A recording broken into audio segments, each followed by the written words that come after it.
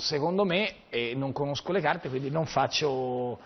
giudizi, non do giudizi sommari, però noi siamo quelli che, hanno, che, abbiamo alzato le tasse, che abbiamo alzato le tasse, dice poi dopo sto pensando già, ma che abbiamo alzato totalmente le pene per, per eh, la corruzione.